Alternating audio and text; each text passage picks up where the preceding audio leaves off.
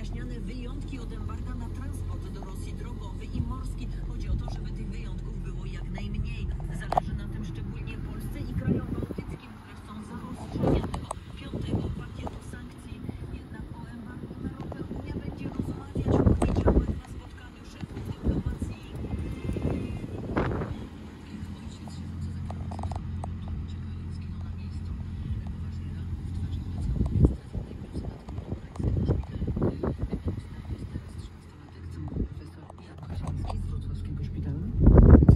niezłym stanie w tej chwili. Niewątpliwie lekarze ukraińscy dokonali niemalczynów, ale to nie zamyka procesu leczenia. Jeszcze, jeszcze wiele, wiele starań medycznych nim będzie potrzebnych, e, żeby przywrócić e, właściwą funkcję chodu, żeby